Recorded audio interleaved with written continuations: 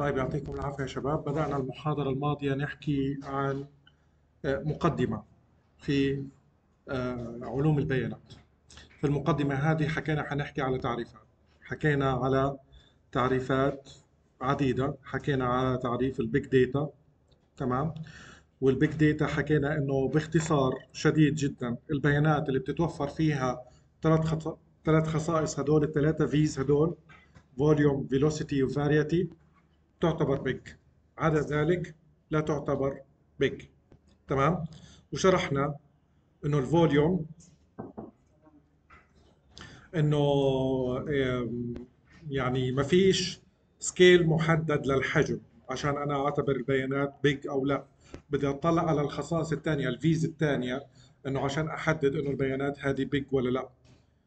وبالنسبة لل velocity حكينا إنه تسارع توليد البيانات وحكينا إنه البيانات بتيجي أنا عندي من مصادر مختلفة. حجم البيانات اللي تولد اليوم مثلا على سبيل المثال 10 تيرا بايت بكرة حيكون 14 بعده حيكون 27 معنى ذلك إنه في تسارع أنا عندي في الأحجام اللي بتتولد عندي في تسارع. وال V الثالثة اللي هي ال variety تنوع تنوع في المصادر. تنوع في المصادر حكينا من شقين من شق أنواع البيانات ومن شق آه، آه، مصادر البيانات. من ناحية أنواع البيانات حكينا إنه في عندي أربع أنواع للبيانات structured, semi-structured, quasi-structured, unstructured. ضربنا مثال لكل واحدة الستراكشرد زي مثلا أي بيانات تابيولر على شكل جدول بتكون إنه هذه structured data. حتى ملفات الإكسل نقدر نعتبرها إنه هي structured data. semi-structured زي ال JSON وال XML. quasi structured بتكون لها format محددة إنه مثلا على سبيل المثال دائما في المكان هذا بيكون في URL في المكان هذا بيكون في IP address فبقدر أستخرج هذه البيانات من خلال كتابة كود ما في بتكون schema واضحة للبيانات ولكن في نمط معين ممكن من خلاله من خلال كود معين أستخرج البيانات. ال unstructured اللي هي باختصار فيديو و text وصور. نعم. Unstructured صور unstructured حكينا بالنسبة لتعريف ال data science حكينا تعريف ال data science انه هو عبارة عن تخصص متعدد المجالات المقصود هنا في المجالات انه هو عبارة عن شوية رياضيات مع شوية احصاء مع شوية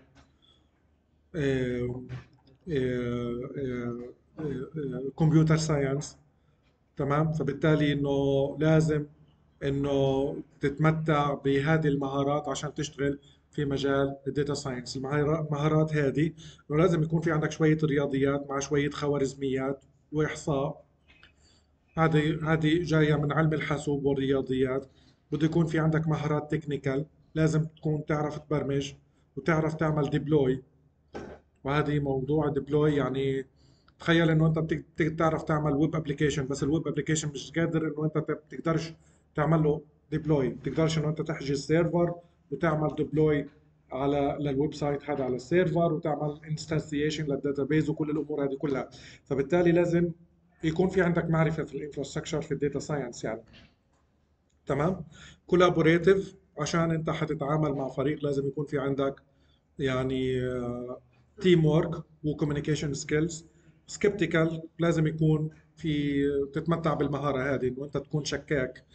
بمعنى إنه أي حاجة بتفترضها شاكك في صحتها لغاية لما تطبقها بشكل عملي وتتأكد منها. تمام؟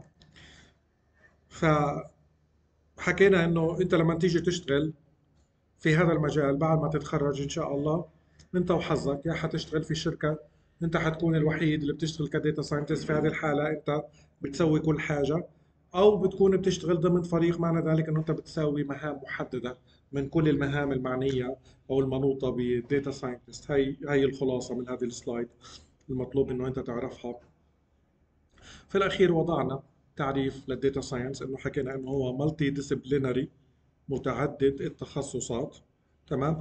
بيستخدم الأساليب العلمية والخوارزميات والعمليات عشان يعمل extract لل knowledge من ال structured وال unstructured data وحكينا إنه هو إيش التخصصات هذه اللي بدمجها اللي هي statistics computer science domain knowledge data visualization كل هاي الأمور كلها بدمجها مع بعض فهاي المهارات الأساسية تبعتها. إيه طيب بعد ما عرفنا ال data science بدنا نرجع نأكد هنا على مفهوم ال على مفهوم ال business intelligence لأنه في تداخل بين ال business ال business intelligence و وعلم البيانات. تمام؟ أول اختلاف هو في موضوع ال depth.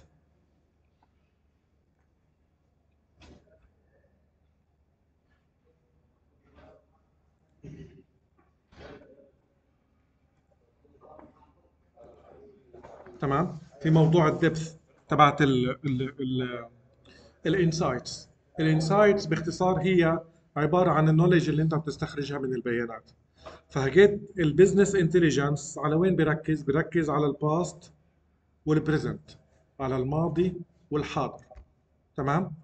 ال data science بيركز على الماضي والحاضر وبرضه بدخل المستقبل في الموضوع من خلال ال prediction معنى ذلك إنه انت ممكن في ال business intelligence تشتغل على الماضي والحاضر بحيث إنه انت تشوف الزباين أنا عندي على سبيل المثال لو أنت عندك بيانات لزباين إنه أنت تشوف إيش اشتروا إيش كيف شكلهم هدول الزباين وفي المستقبل أنت حتتنبأ إنه حيشتروا أو لا.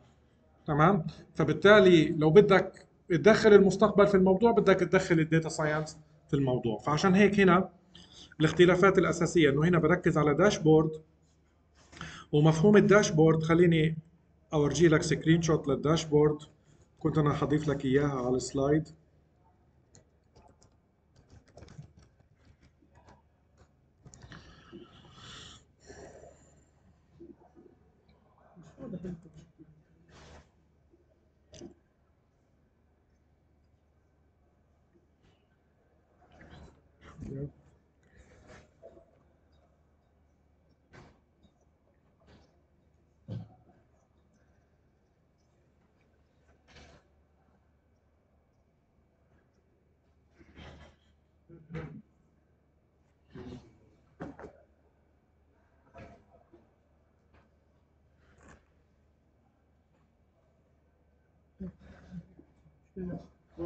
طفي الضوء كمان يا أستاذ.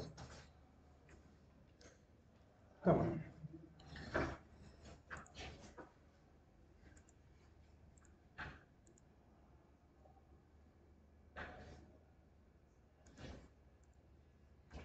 هاي داشبورد مثلا على سبيل المثال. داشبورد هي عبارة عن لوحة عدادات من خلالها أنت بتقدر تشوف إيش الحالة أنت عندك بالنسبة لل للبيانات. فبالتالي انت ممكن تشوف أنماط معينة على حسب إطار زمني. هذا في العاده بيكون كله في الماضي. تمام؟ ممكن انت تشوف على سبيل المثال انه ال pie chart هذه انه آه، بيانات إيش الفئات تبعتها إيش الحصة تبعتها. وممكن انه انت الحمد لله. يرحمنا يرحمكم ممكن إنه أنت تشوف البيانات في سنة محددة زي مثلا 2015 2016 2017 هذا كله في الماضي بهذا الشكل عشان تشوف كيف كان البيانات.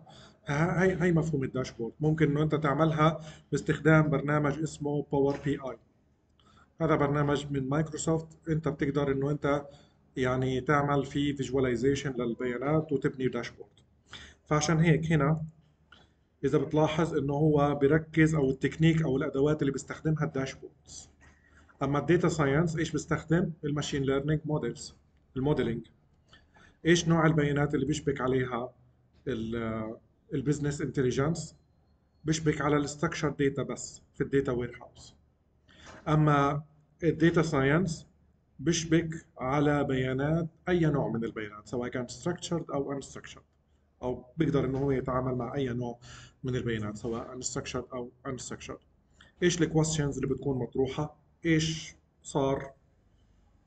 قديش المبيعات اللي إحنا عملناها في السنة اللي الماضية؟ متى وصل مثلا إنه ذروة الموسم إحنا عندنا؟ في أي وقت مثلا على سبيل المثال. لكن هنا أنت بتلاحظ إنه الأسئلة إنه في المستقبل. هاي الفرق. في الموضوع. تمام؟ طيب نيجي لتعريف الذكاء الاصطناعي.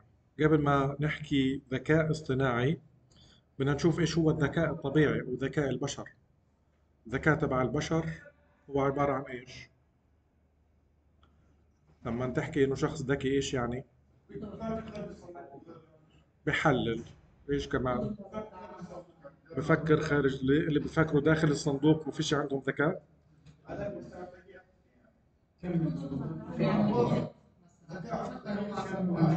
بتعامل مع المحيط. بفكر بمنطقية. في تفكير منطقي وتفكير مش منطقي. تحليل. إيش؟ كمل المعلومات. كيف؟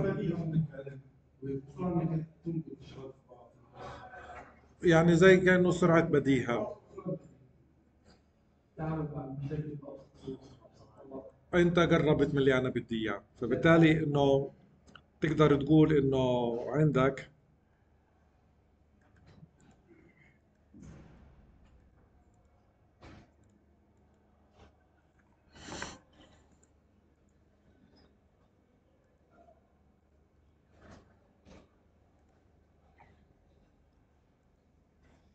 ممكن نقول إنه الذكاء شغلتين. بدي لك اياه في كلمتين اللي هو حل مشاكل.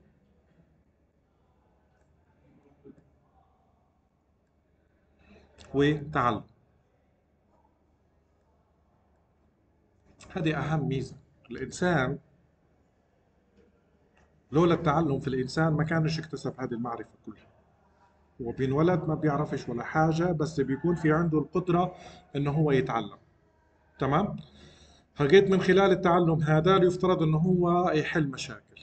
معنى ذلك إنه هو بده يسرد كل الحلول اللي موجودة أمامه. إحنا بنعيش في بيئة كلها مشاكل في مشاكل كلها مطبات ومطلوب مني إنه أنا أحل المشاكل.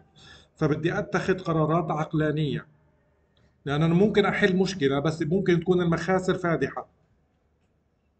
فوقتيش إنه أنا بقول إنه أنا في عنده إنه الشخص هذا في عنده ذكاء إذا كان بيتخذ حلول عقلانية أو بيتخذ قرارات عقلانية في حل المشاكل. فبالتالي يعني هذا الكلام هذا المصطلح problem solving وهنا learning. problem solving و learning. هذا هو الذكاء. طيب الذكاء الاصطناعي الذكاء الاصطناعي بدنا نرجع هنا للتعريف إنه بدنا نقول إنه هو عبارة عن محاكاة للهيومن انتليجنس عشان هيك أنا عرفت لك إيش هو ذكاء البشر. يبقى الذكاء الاصطناعي هو محاكاة لذكاء البشر. تمام؟ وين؟ في ال machines. تمام؟ فعشان هيك إنه هذا المجال بيعتمد أو بيشمل تطوير الخوارزميات والبرمجيات. وال hardware هذه كلها المكونات ممكن ممكن يكون أنت عندك روبوت هو أحد تطبيقات الذكاء الاصطناعي. هو عبارة عن hardware و software وخوارزميات. تمام؟ إيش بتمكن؟ بتمكن الحاسوب إنه ينجز أعمال محددة زي الإنسان بالضبط. إيش الإنسان بيتمتع؟ عنده القدرة إنه على فهم اللغة. تمام؟ واتخاذ القرارات. وحل المشاكل. تمام؟ بنشوف تطبيقات. في عنا تطبيقين وهو بيمثل على فكرة نوعين من أنواع الذكاء الاصطناعي. التطبيقات هذه ممكن نسميها agent إيش يعني agent وكيل. إيش مفهوم الوكيل؟ إنه أنت بتوكله إنه يقوم بمهام بالنيابة عنك. تمام؟ النوع الأول هيو زي ما انت شايف هنا أنا في عندي روبوت. الروبوت هذا بيقوم بمهام لتنظيف حظيرة البقر. لازم يكون في عنده ذكاء أوعى تفكر إنه يعني روبوت من هالنوع إشي بسيط. لازم يكون في عنده سنسورز كاميرات ومقياس مستشعر للحرارة والأمور هذه كلها عشان يقدر يحدد إيش هي يتعرف على الأنماط إيش هي المناطق النظيفه وإيش هي المناطق المحتاجه تنظيف عنده ذكاء بس هل عنده تعلم؟ كيف؟ عنده ذكاء بس هل عنده تعلم يعني؟ عنده حل لا ما عنده مش هو هذا بيحاكي ذكاء الإنسان في في مهمة محددة عشان هيك إحنا بنحكي إنه أنواع الذكاء عندنا إنه أنت ممكن تستخدم ال ال يعني تحاكي ذكاء الإنسان في القيام بمهمة محددة هذه الحالة الذكاء أو الماشين تتفوق على البشر في الأداء تبعها تمام؟ عندما تقوم بمهم بمهمة محددة تمام؟ فالمهمة هذه هي أنه ينظف حظيره الأبقار فبده يتعرف على المناطق النظيفة والمناطق المتسخة. ليش؟ لأنه عشان المناطق النظيفة ما يعيدش ينظفها كمان كمان مرة يضيع وقت ويضيع ويضيع صابونة ويضيع موارد تمام؟ وبده يكون عنده القدرة إنه هو يتعرف إنه في عائق أمامه سواء كان حاجز أو بقرة عشان إنه هو يتجنبها. وهذا الروبوت بيقوم بالمهام تبعته بلا كلل ولا ملل وما بتضايق من الريحة وبيشتغل بكل أريحية. بيتفوق على البشر في هذا الإطار. هذا النوع الأول من الذكاء. الذكاء اللي أنت بتطلب بتصمم روبوت بيقوم أو بتصمم agent بيقوم بمهمة محددة فقط. أما لما يكون في عندك روبوت ومطلوب منه الروبوت هذا القيام بمهام عديدة ساعتها إنه البشر بيتفوقوا على الآلة في هذا المجال. يعني على سبيل المثال بدك تصمم روبوت بيلعب كرة قدم. كرة القدم تتطلب يعني مهام عديدة بده يحدد مواقع اللاعبين يتعرف عليهم يحدد مواقع اللاعبين بده يتتبع الكرة هذا الكلام للاعب محترف بتصير في برهة من الثانية. وبده يكون في عنده بلاننج بس أول ما يشوف الكرة هيك من بعيد ونظرة بس لأماكن اللاعبين ممكن إنه هو يقرر إنه هذه فرصة هدف ولا لا ويتحرك على هذا الأساس. أنت لو بدك تعمل روبوت يلعب كرة قدم بهذه الكيفية. هذه مهام متعددة تطلب من الروبوت إنه يكون فيها؟ مستحيل وبدها تنسيق مع بعض. فعشان هيك زي ما أنت شايف فوق أنت عندك ميسي تمام؟ شوف كم مدافع بيخترق. هدول المدافعين كلهم وببساطة بحط لك الكورة في الجون وكأنه بقول لك أنا الموضوع حدا بالنسبة لي زي السلام عليكم. أما بالنسبة للروبوت زي ما أنت شايف هيو قاعد بتطلع على الكورة وبده يتطلع على المرمى قاعد ب center في حاله. تمام؟ هيو يطلع على المرمى حيسدد في الأخير مش حتيجي جول والحارس مش حيعمل ولا حاجة. تمام؟ فهنا عشان نقفز هنا لأنواع الذكاء.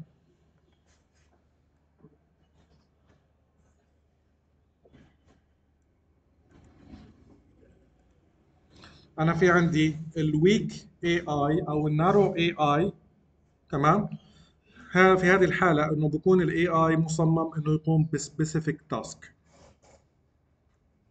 وال performance تبعه بيكون يعني بيتفوق على البشر في الغالب في في في هذا الإطار. كيف؟ زي المثال اللي هو تبع حظيره البقر اللي هو الروبوت اللي بينظف.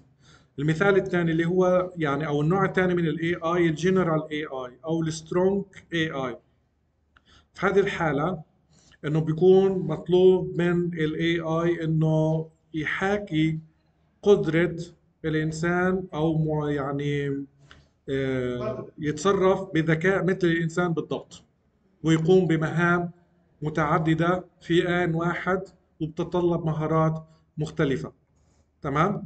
فبالتالي بده يكون في عنده القدرة إنه هو يفهم ويتعلم ويطبق المعرفة اللي هو تعلمها. هذه كذا system بده يكونوا في system واحد. طبعا هذا هدف بعيد بعيد المدى. لسه إحنا ما وصلنالوش لغاية الآن. ولكن في تحذيرات حاليا حول ال general intelligence والخطورة تبعته.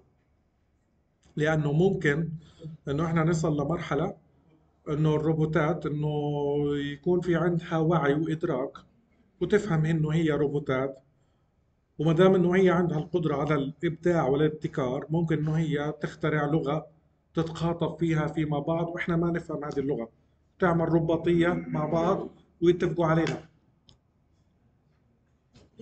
التحذيرات مبالغ فيها لدرجة إنه بي- بي- بيمثلوا الخطورة تبعتها بالأسلحة النووية. إحنا لسه ما وصلناش في المرحلة الحالية ولكن ها يعني ممكن بين يوم وليلة يعني نصل ل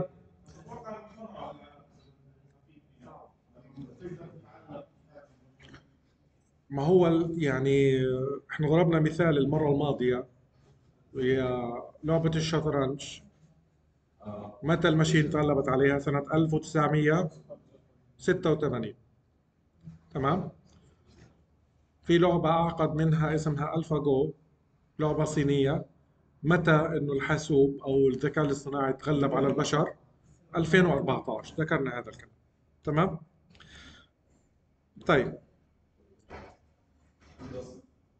أيوه.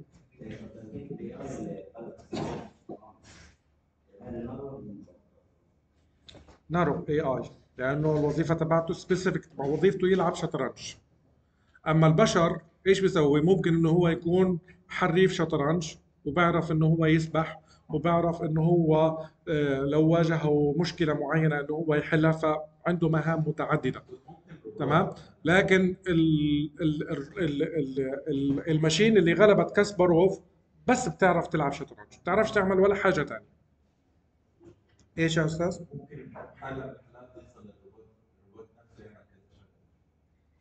ماشي. ممكن إنه هو يقوم بمهام متعددة لكن إنه أنت إنه المهام هذه إنه تكون متنوعة وتربطها مع بعض وتستخدم النولج اللي أنت تعلمتها في مجال معين في هذه المعرفة لسه ما وصل ما وصل لهي المرحلة.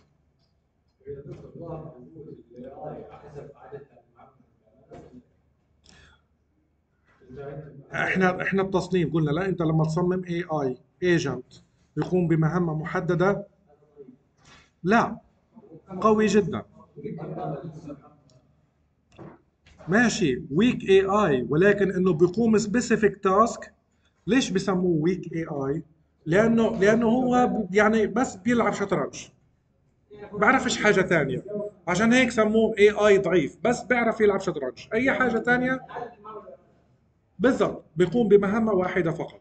لكن المهمة هذه بيتفوق فيها. تمام؟ طيب زي ما اتفقنا إنه أنت الوكيل بتوكله إنه هو يقوم بمهام عنك يعني أنت مش فاضي انه أنت تنظف الحظيرة بدك تفضى لشغلات يفترض وأنت بدك تفضى لشغلات أهم. وأنت مش فاضي إنه أنت تسوق السيارة بدك سيارة ذاتية القيادة لأنه الثلاث أرباع ساعة اللي أنت بتقضيها في السواقة وأنت ب- يعني بتقدرش إنه أنت تعمل حاجة تانية. أنا ممكن أستغلها في أشياء تانية. ممكن أقرأ كتاب ممكن أنا أتواصل مع الزباين تبعوني ممكن أخلص البزنس تبعي. تمام؟ فهيك يفترض. هذا هو الهدف تبع الذكاء الاصطناعي إنه هو يوفر لك الوقت عشان تفضل مهام أهم. ولكن اللي بيستخدمه الذكاء الاصطناعي وبيلغي نفسه بيكون مشكلة. يعني هو بيعطل مخه زي هذا الطفل. هذه أم بتسجل لطفلها إنه عنده واجب. الواجب هذا زي ما أنت شايف هيو مكتوب أنت عندك في ال subtitle. ستة في سبعة ثمانية في أربعة كذا زائد كذا. بدل ما يشغل مخه ويحسب عشان يمي مي- يعني ينمي المهارات هذه في في ذهنه وخاصة هو في اللي هو بيتعلم فيها ولا حاجة. بروح بسأل أليكسا. أليكسا عارفين أليكسا؟ بسأل أليكسا. ستة في سبعة. What ستة is في going سبعة on كذا here? خلاص بسجل ثمانية في أربعة. ثمانية في أربعة 32 بسجل No, 32 that is not how you do homework. وانتوا اوعى تقعوا هذا المنزلق. تمام؟ وتروح تقول لل GPT اعمل لي كذا وسوي لي كذا بدون ما انت تشغل مخك. تمام؟ واضح؟ وصلت الرسالة؟ طيب حكيت إحنا حكينا على التعريف بس أنا يعني بدي أوضح لك أكثر هذا المجال لو أنت حابب إنه أنت تاخده في مساق يفترض أنا بتوقع إنه موجود عندك. يعني لقسم علم الحاسوب المساق هذا إجباري بالنسبة لهم للتخصصات الثانية أنا بعتقد إنه ممكن انه هم يختاروه اختياري. إيش ممكن أنت تدرس فيه؟ ممكن تدرس في هذا العلم كيف إنه أنت تعمل maximization لل utility ال utility مقصود فيها ال function فالذكاء لو أنت بدك تشتغل في هذا المجال بده يكون أنت عندك كل ال agents هذه بدك تصمم لها function وال function هذا الحاسوب الحاسوب بيقدر يتعامل مع دوال.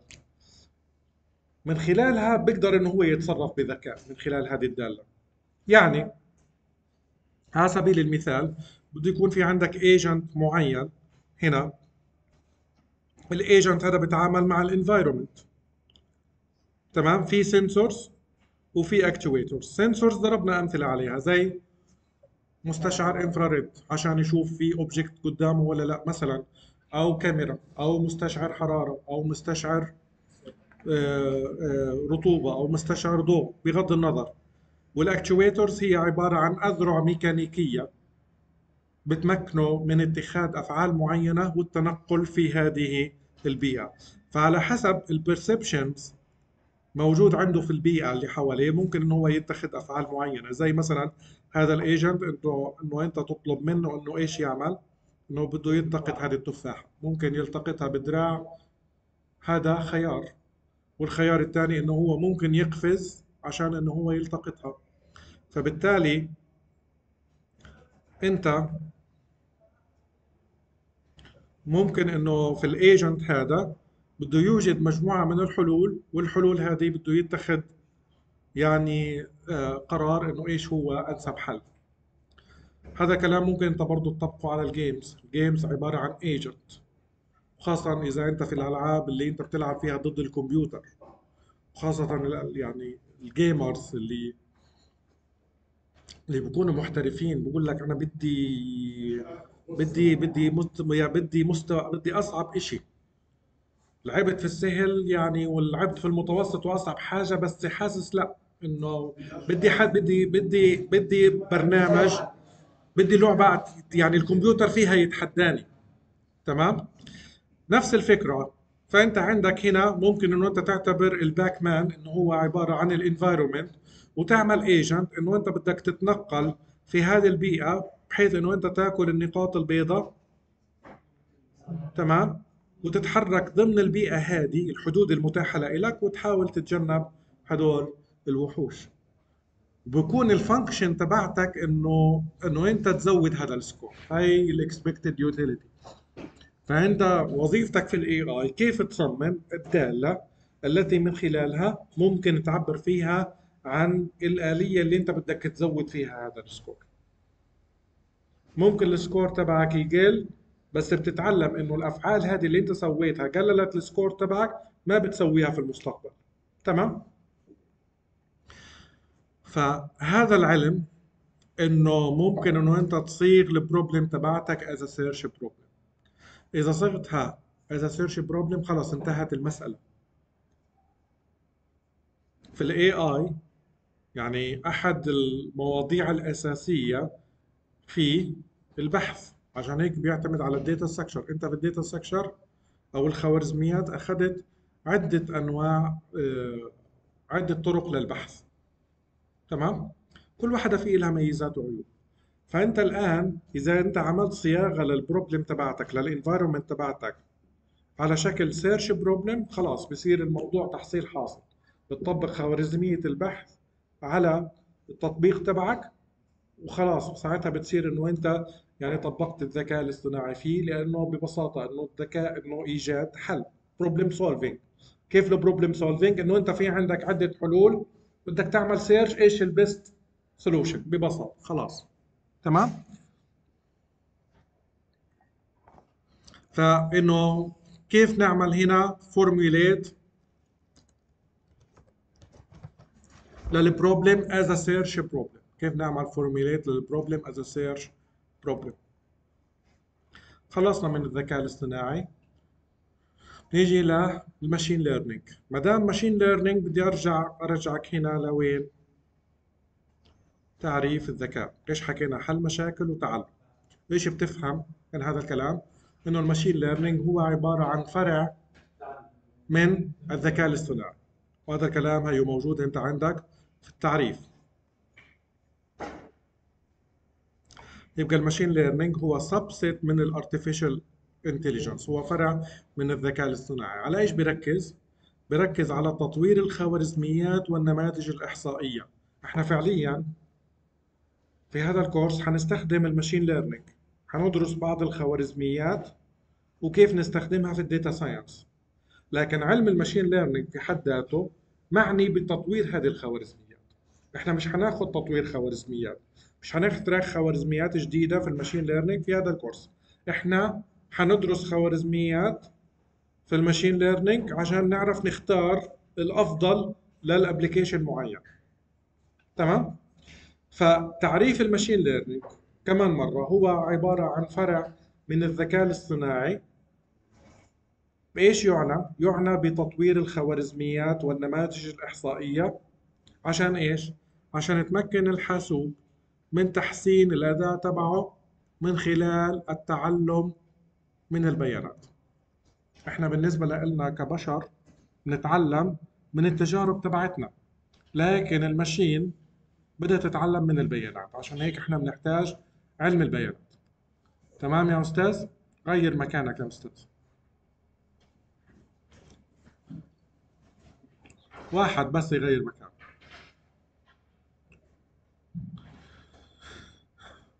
فحكيت ال machine بدها تتعلم من البيانات. هذا هو ال machine learning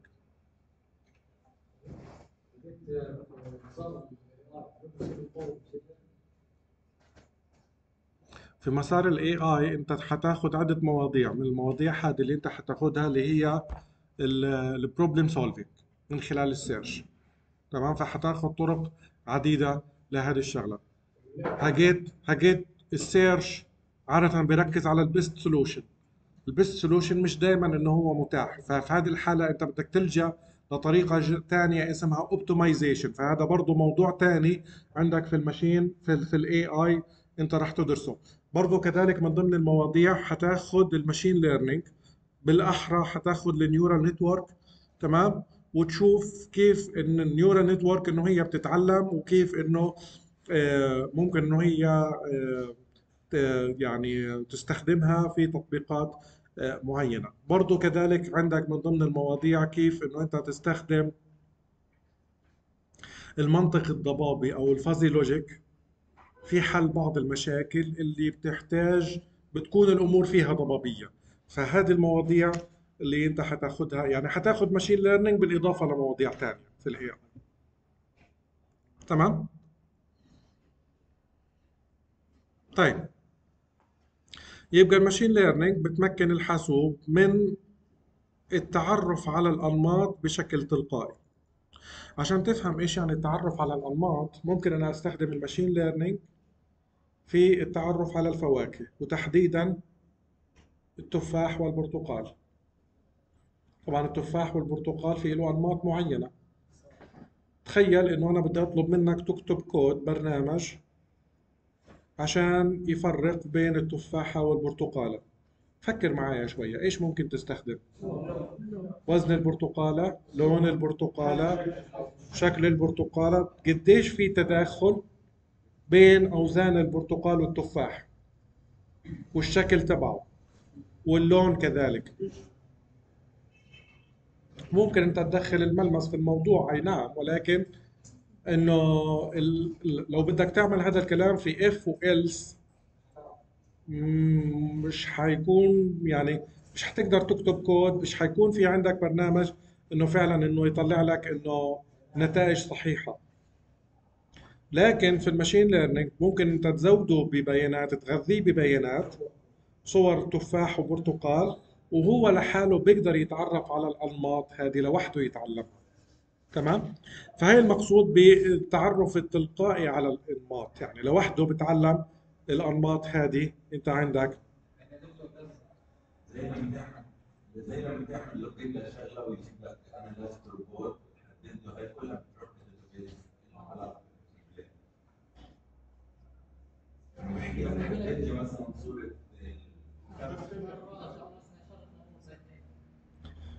هذه يعني هذه إيش مالها؟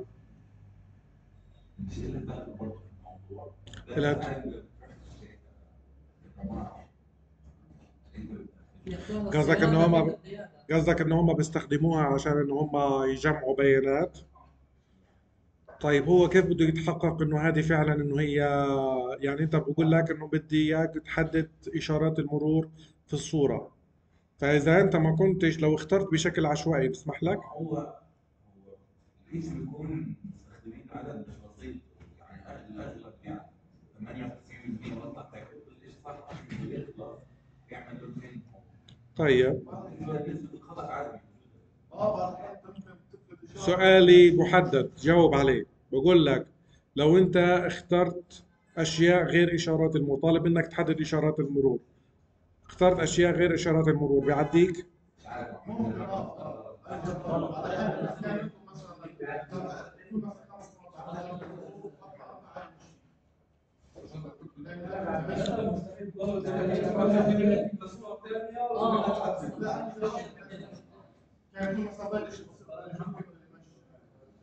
حكيت زميلك بيطرح سؤال إنه هل هذه هي الطرق اللي إحنا ممكن نحصل من خلالها على بيانات مصنفة؟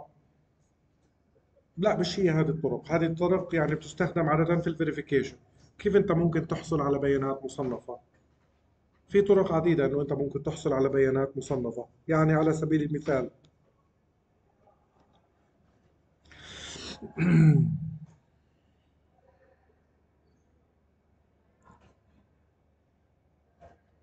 يعني أنت عندك على سبيل المثال في في, في آه، طرق الحصول على البيانات آه، عديدة وكثيرة. يعني على سبيل المثال أنا بدي أعمل موديل يتنبأ كيف شكلي وأنا عجوز. موجود هذا بس كيف بدي أجمع البيانات عشان؟ من وين أنا بدي أجيب؟ آلاف البشر عشان يعطيني صورته وهو صغير وصورته وهو كبير.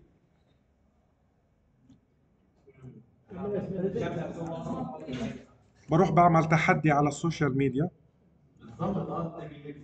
تمام. تحدي اللي هو صورة قبل عشر سنوات والصورة الآن. فكتير من الناس إنه هو للأسف الشديد بيستجيبوا للتحدي هذا وبكونوا مش عارفين إيش هو الهدف وبحطوا الصورة تبعتهم. فبالتالي إنه فيسبوك إنه ممكن إنه هي تجمع البيانات هذه. في الغالب البيانات هذه بتكون دقيقة. هذه واحدة من الأساليب اللي ممكن إنه أنت تستخدمها. عدا ذلك كيف؟ ال social إيش؟ أو ال social engineer في في طرق عديدة للحصول على البيانات. مش هذه هي الطريقة الوحيدة بس يعني إنه هديك إنه مستخدمة للوجين فانت ما بتعتقدش إنه هي الطريقة الوحيدة للحصول على البيانات هي مستخدمة إنه عشان يعديك أو ما يعديكش. عشان أنت تحصل على البيانات وتكون البيانات هذه مصنفة تمام؟ ممكن بسهولة جدا إنه أنت تحصل على البيانات هذه. ممكن بنفسك أنت تعدها لو أنا عندي مصنع للعصير ومطلوب مني إنه أنا بدي أعمل machine learning model عشان إنه هو يصنف التفاح والبرتقال يفرزهم. بقدر إنه أنا أجيب عامل انه هو يفرز التفاح والبرتقال وناخذ صور عديدة لهذه الشغلة خلص بتكون الصور مصنفة بالنسبة لي ما فيش داعي إنه أنا يعني آه، أحطها في اللوج إن للمستخدمين وأقول له علم لي على البرتقالات والتفاحات عشان أجمع هذه البيانات. لا في طب يعني في بعض التطبيقات جمع البيانات فيها سهل جدا. وفي بعض التطبيقات الأخرى بيكون جمع البيانات مش سهل وممكن أنا أجمعه من مصادر متعددة وبتركات مختلفة يعني تمام؟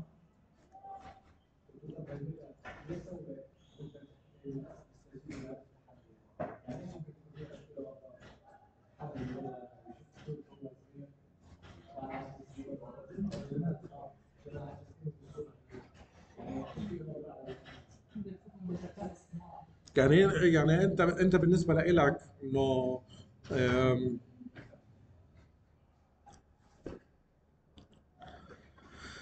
أنت بالنسبة لك يعني آه، إنه أنت التحدي هذا إنه أنت حطيته الهدف منه just for fun ولكن إنه الأهداف تبعته إنه بيتم استخدام البيانات تبعتك لأغراض أنت مش عارف إيش هي بالضبط. وبالتالي إنه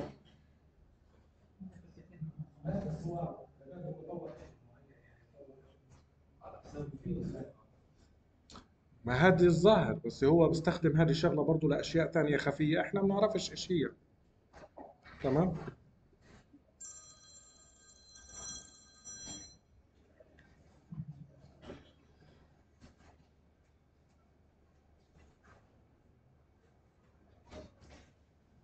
طيب نرجع للموضوع تبعنا. حكينا automatically discover pattern معنى ذلك إنه هو بده يتعلم لوحده. وإيش كمان بده يعمل؟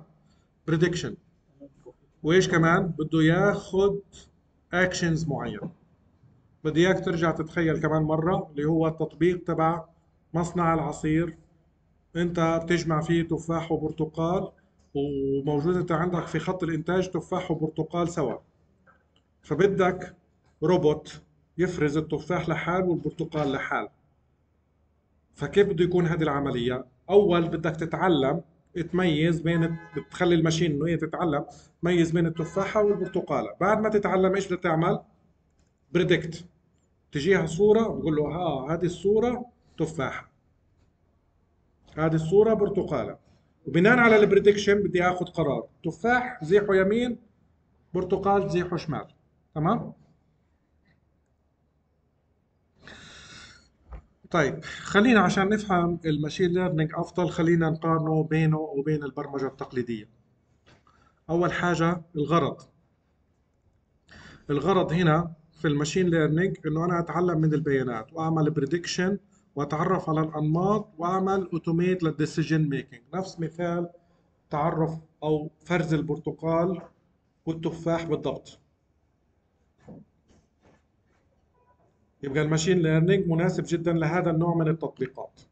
طيب البرمجة التقليدية ممكن أنا أطبق فيها هذا الكلام؟ صعب جدا إنه أنا أكتب if else if else if else لكل الحالات.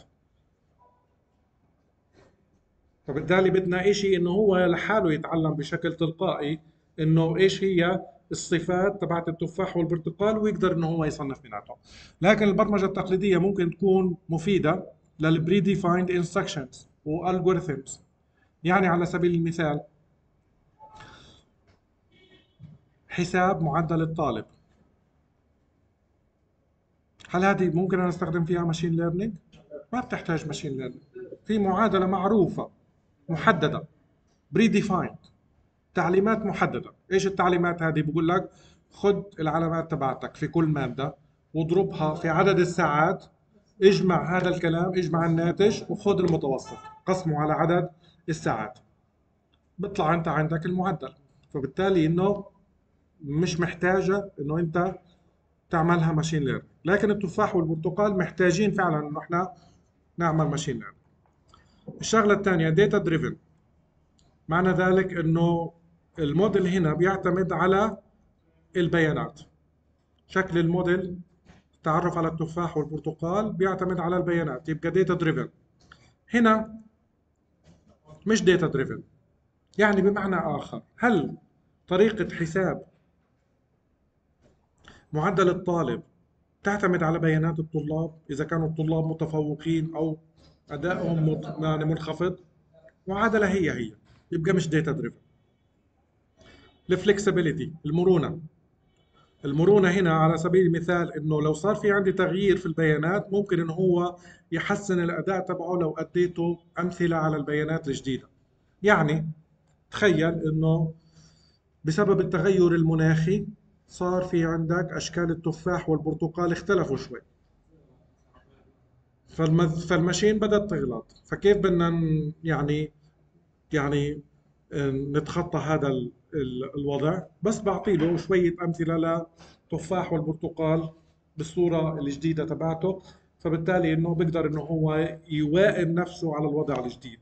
أو إنه أنت استوردت مثلا تفاح وبرتقال من مكان والتفاح والبرتقال من المكان اللي أنت استوردته بيختلف شوية عن اللي هنا. فبالتالي عشان إنه هو يتعامل معاه بشكل صحيح بس بدك تعطي له شوية أمثلة تقول له خلي بالك في أنواع تانية من التفاح هي الصور تبعتها. فبتعلم. لكن هنا هل في adaptation بدون تعديل الكود؟ يعني تخيل إنه صار في عندنا طريقة جديدة لحساب المعدل. هذا إيش بيتطلب تعديل الكود عشان إنه إحنا نعكس هذا التحديث. بالنسبة لل complexity اللي هو التعقيد. عادة إنه ال machine learning بتكون مناسبة للمشاكل المعقدة بشرط إنه يكون فيها بيانات. هنا بستخدمه لل well defined deterministic task المهام الواضحة معرفة بشكل جيد والمحددة بشكل واضح. الخبرة المطلوبة. الخبرة المطلوبة في التعامل أو في بناء ال machine learning model أو بناء البرامج. إيش الخبرة المطلوبة في ال machine learning؟ بتطلب منك انه انت يكون في عندك مقدرة على معالجة البيانات. هذا كلام انت حتدرسه في ال data science وبرضه تختار الخوارزمية المناسبة. برضه هذا الكلام حندرسه في ال data science أما في البرمجة التقليدية إيش الخبرة المطلوبة منك؟ إنه يكون في عندك خبرة في لغة البرمجة واستخدام الخوارزميات بس لا أكثر ولا أقل. ال maintenance الصيانة هذا الكلام إحنا already ذكرناه هنا. لو أنت صار في عندك مثلا على سبيل المثال إنه بدك تحسن الأداء بعد فترة زمنية معينة الصيانة تبعت ال machine learning model بس إنه أنت تعطي له بيانات جديدة. أما هنا الصيانة إيش بتشمل؟ بتشمل إنه أنت تعمل ديبج ممكن يكون في بجز تحل هذه البج أو تعمل update لل interface يعني أشياء من هالقبيل تمام؟ عشان تتخيل الفرق بين ال machine learning model والبرنامج في البرنامج هنا بتكتب كود شايف؟ شايف يا أستاذ؟ هنا أنت بتكتب كود إيش بتعطي له؟ مدخلات. عشان يحسب لك ال out يعني نسقط هذا الكلام على مثال أنت بتعطي له المدخلات اللي هو عبارة عن علامات الطالب والساعات اللي درسها الطالب وهنا بتكتب كود عشان يحسب المعدل والناتج ال Y اللي هو المعدل اللي حيحسب لك إياه. لكن في ال machine learning الوضع مختلف. لازم تديله ال X وال Y سوا عشان يتعلم. لازم تديله صورة تفاحة وتقول له خلي بالك هذه تفاحة. بقول لك ماشي تعلمت. اديني مثال تاني. قول له هاي صورة كمان وهي صورة لتفاحة برضو مختلفة. قال لك ماشي خلص تعلمت. تدي له كمان صورة وتقول له هذه برتقالة. وهكذا. فعشان هيك انت لازم تدي له ال X وال Y عشان يتعلم. طب شو الناتج؟ الناتج انت عندك هنا الموديل. طيب الموديل هذا كيف ممكن تستخدمه؟ هنا انت بتكتب الكود. خلص خلص كتابة الكود بصير انه انت بتستخدم البرنامج. هنا بعد ما انت تعلم الموديل في ال prediction ساعتها بتدي له هنا ال X هذا التعلم هذا ال learning هنا بتدي له ال X تمام؟ تعطي له للموديل عشان يعطي لك ال Y يعني بمعنى آخر بعد ما تعلمه وتخلص بتروح تستخدمه في ال prediction كيف تستخدمه في ال prediction بتدي له صورة بقول لك هذه الصورة برتقالة هذه الصورة تفاح. فبالتالي بعد ال training انت بتدي له ال X عشان يعطي لك ال Y تمام؟ يعني بمعنى آخر إنه هنا أنت بتدي له ال X عشان يدي لك ال Y نفس وظيفة البرنامج لكن إنه هو تعلم لوحده يعمل الشغلة هذه بدون ما أنت تكتب كود واضح؟ هذا الكلام إحنا شرحناه المحاضرة الماضية حكينا إنه أنت عندك البيانات ممكن تكون موجودة من مصادر مختلفة. هذا الكلام بنسميه data pipeline pipeline للبيانات. بيانات بتمر بعدة مراحل. تمام؟ بتمر بمسارات معينة بس المسارات هذه بتطبق عمليات معينة. إيش العمليات هذه؟ اللي هي ال ETL Extract Transform Load. انت هنا البيانات هذه من المصادر المختلفة هذه حتعمل select لإلها. مش كلها حتختار. تمام؟ حتعمل extract وحتعمل transform وممكن تدمجها مع بعض وبتحملها وين؟ في ال data ware نضرب مثال على ال extract مثال على ال extract إنه أنت ممكن يكون عندك حقل في التاريخ كامل. 23 4 أو مثلا يوم الأحد 23 4 2023 مثلا. بيكون مطلوب منك إنه أنت بس تستخرج اليوم. إيش يعني المقصود باليوم؟ إنه هل هو يوم سبت أحد اثنين ثلاث؟ هذا عبارة عن extraction يبقى أنت عندك المعلومة موجودة وبدك تستخرجها من هذا الحقل. مثال على ال transform هو إنه أنت عندك على سبيل المثال العمود تبع الإيج.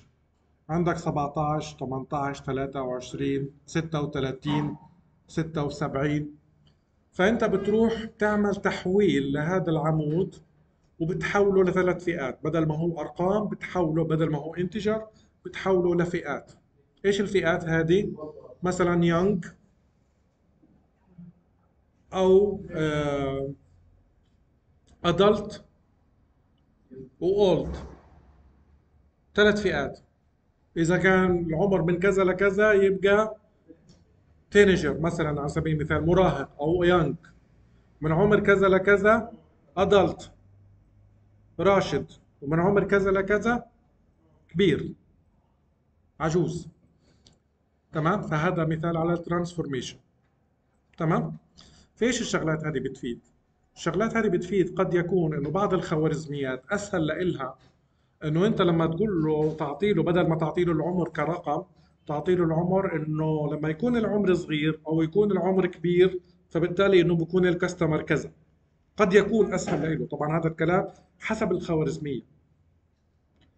أو نضرب مثال على التاريخ. مثلا في حجوزات الأوتيلات. حجوزات الأوتيلات عادة بتكون الذروة وين؟ في الربيع والصيف. فبدل ما الخوارزمية تتعامل مع تاريخ الحجز 23 4 2023 بتقول له إنه الحجز صار في ال... في أي موسم في أي فصل من فصول السنة. فبالتالي من التاريخ أنت بتقدر إنه أنت تعمل transform وتطلع إيش ال season. هل هو ربيع سمر ولا ولا spring صيف آه، ربيع ولا إيش بالضبط. تمام؟ فبالتالي بيكون لل machine أسهل إنه هي تتعلم. إذا كان الحجز في الصيف راح يصير كذا وكذا وكذا. واضح؟ تمام؟ بعدين هذه البيانات كلها حتتخزن وين؟ في ال data warehouse الكلام هذا بنرجع بنكرره كمان مرة. مستودع البيانات هو بيانات فيش عليها تغيير فيش عليها transaction transactional database بتكون database management system عادية. وضربنا مثال زي سجل الطالب. حتى لو انت بدك تيجي تدرس عنا بعد ما تتخرج تدخل بسجل جديد برقم جامعة جديد بدك تدرس ماجستير. بس طالما انت تخرجت خلاص ما بصير في تغيير على أسماء المواد. ولا حتى لو تغيرت الخطط الدراسية ولا العلامات ولا أي أي بيان من البيانات السجل تبعك. كيف بدنا نحفظها؟ وين نحفظها؟ بنحطها وين؟ في مستودع للبيانات. هذا المستودع فعليا أنت اللي حتطبق عليه ال data science. بس بعد إيش؟ بعد ما تقسم البيانات هذه لفئات أو لوحدات منطقية تسمى data mart data mart فممكن إنه أنت تجمع كل البيانات اللي لها علاقة بالتسويق ب data mart معين والبيانات اللي لها علاقة بال operations في data mart معين. ال finance في data mart معين وهكذا. حاجات ال data marts هدول انت ممكن تصلهم من خلال API وهنا انت بتطبق ال data science تبعك. طبعا هذا الكلام وين حيصير؟ إذا أنت كنت بتشتغل في شركة. إحنا في هذا الفصل أو في هذا المساق كيف رح نتعامل مع البيانات؟ رح نتعامل مع البيانات ك flat files طبعا إحنا عشان ما فيش عندنا بيانات إنه فيش عندنا مؤسسة إنه إحنا نشبك على البيانات تبعتها ونعمل نطبق ال data science process حوفر لكم البيانات من خلال flat files إيش هي ال flat files ممكن تكون CSV file عارفين ال CSV زي ال Excel مثلا وال JSON فبتكون البيانات مخزنة على شكل file بتحملها وبتبدأ تطبق عليها ال data science process طيب هنا أنا بعطي لك لما كنا نحكي إنه أنت بدك تخلي ال machine إنه هي تتعلم specific task هنا بس بدي أضرب لك مثال على ال specific task زي إيش مثلا؟ في عندنا task اسمها classification زي مثال التفاحة والبرتقالة. يعني بيكون مطلوب منك إنه أنت تصنف ل classes فئات. تفاحة برتقالة. تمام؟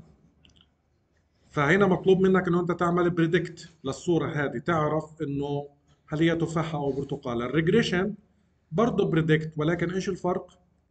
numeric زي إيش مثلا؟ تطبيقات. إنه أنت بدك تتنبأ بسعر البيت. بدي أعطي لك بيانات. بقول لك إنه البيت موجود في الموقع الفلاني. خط الطول وخط العرض. وكذلك في عدد غرف هالقد. مساحته هالقد. مبني سنة كذا. عشان تقدر تعرف تحدد إنه هو قديم ولا جديد. بناء على هذه المواصفات بقدر أتنبأ بسعر البيت. أو بدي أتنبأ بسعر الأسهم. بدي لك بيانات لسنة فاتت لسهم معين وبكون مطلوب منك إنه أنت الشهر الجاي أو الأسبوع الجاي تحدد لي إنه سهم حيرتفع أو حينزل. فأنت مطلوب منك إنه أنت تعمل predict ل number اللي هو سعر السهم سهم. هذه ال task شو اسمها؟ regression ال clustering بيكون انت بدك تتعامل مع البيانات بدون target على الإطلاق بدون ما يكون في classes يعني ما فيش عندك معلومات إيش التصنيفات اللي موجودة. يعني على سبيل المثال أنت عندك زبائن والزبائن هدول يعني جمعت زبائن أنت عندك متجر وجمعت زبائن كتير. بس الزبائن هدول أنت إلك الخاطر إنه أنت تقسمهم لفئات بس مش عارف. فأنت ممكن تطلب من ال machine إنه تعمل لك clustering إيش يعني clustering تجميع. بتروح بتزم... بتجمع لك الزبائن اللي بيشبهوا بعض. هي المعيار معيار التشابه. باخذ الزبائن اللي بيشبهوا بعض بحطهم في كلاستر واحد تجميعة واحدة راح يكون في عندك زبائن مختلفين. كيف؟ حسب إيش؟ الزبائن؟ لا. ما بيهمنيش لون البشرة. يعني أنا يعني أهم المعايير العادات الشرائية في أنت عندك زبائن تمام؟ بيشتروا بشكل متكرر وبيشتروا أنواع معينة من المنتجات. في عندك زبائن بيشتروا بشكل يعني عرضي ولكن بيشتروا منتجات من نوع مختلف. فهدول يعني الزبائن بدي إياك إنه أنت تصنف لي إياهم عشان كل واحد بده تسويق بطريقة مختلفة. تمام؟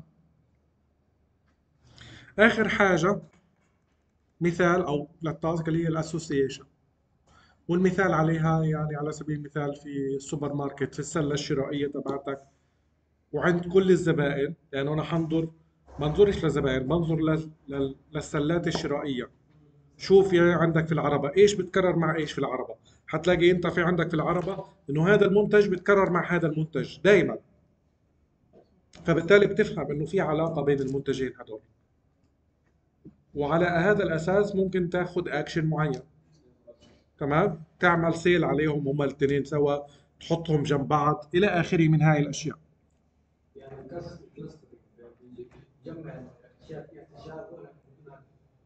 بدون إيش؟ لا في هدف في هدف إنه أنا بدي أنا أنا أنا في عندي زبائن بس مش عارف أصنفهم. فأنت لما جمعتهم في cluster زبائن اللي بيشبهوا بعض في cluster خلص بتصير إنه أنت بتعرف خصائص ال cluster بتقول إنه هذا ال cluster فيه زبائن موجودين في المنطقة الجغرافية المعينة حول يعني على الساحل بيشتروا بشكل متكرر والإنفاق تبعهم يتراوح من كذا لكذا. يعني لو سويت بين العلاقه بين المنتجات المنتجات بتصير سلسله بدك تعمل علاقة بين إيش وإيش؟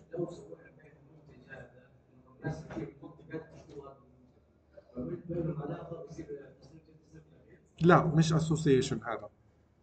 الاسوسيشن عادة إنه أنت بتطلع على الموضوع إنه هو عبارة عن مجموعة من ال transactions مجموعة ال transactions هذه بدك تشوف العناصر اللي جوا ال transaction نفسه.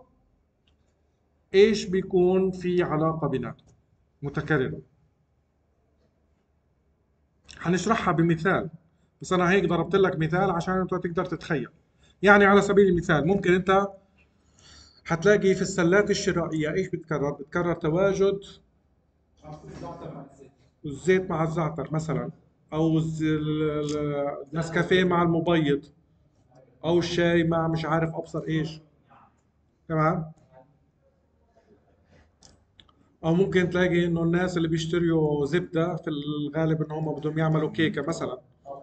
فأنت ممكن تعمل يعني يكون في association لمنتج تاني ملوش علاقة بالأكل. ممكن يكون مثلا فرن شغلة زي هيك مثلا على سبيل المثال.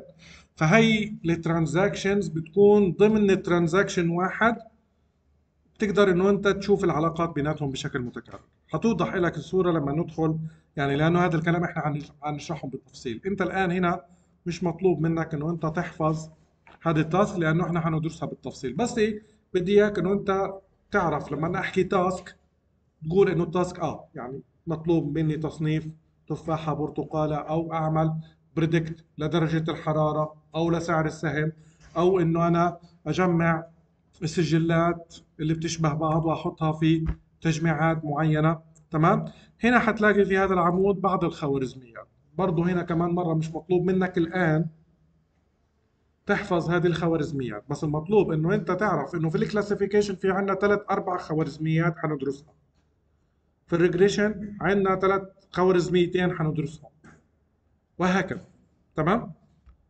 وهي أمثلة. ضربت لكم أنا أمثلة. تمام؟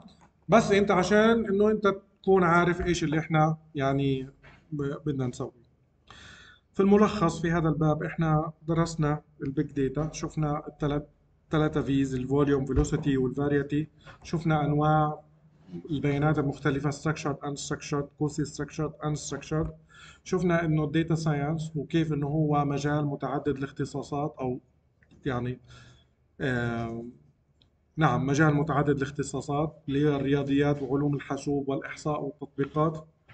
وشفنا إنه ال data scientist في له العديد من المهارات لازم يتمتع فيها من مجالات من المجالات المختلفة. هذه شفنا كذلك تعريف ال AI شفنا تعريف ال machine learning في المحاضرة الجاية إن شاء الله بدنا ناخذ ال data science process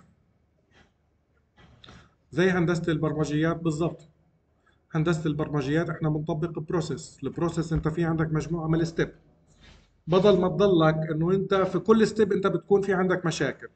بدل ما تضلك قاعد في ال step هذه لغاية لما تحل كل المشاكل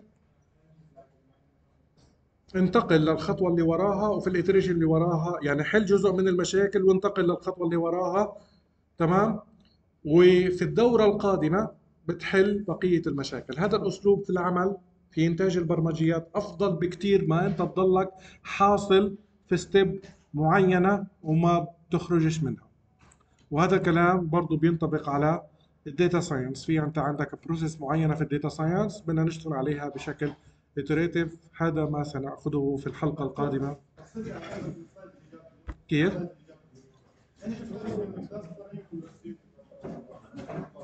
شو ممكن هي هي يسمح مع اي حد هذا يسمح مع طيب. ركز معي يا أستاذ.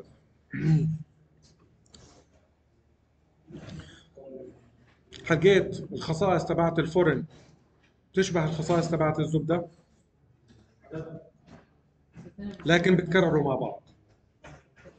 لكن هذا association لكن في ال clustering أنت بتطلع على الخصائص اللي بتشبه بعض. يعني على سبيل المثال أنا طلبت إنه أنا أعمل clustering لطلاب الجامعة.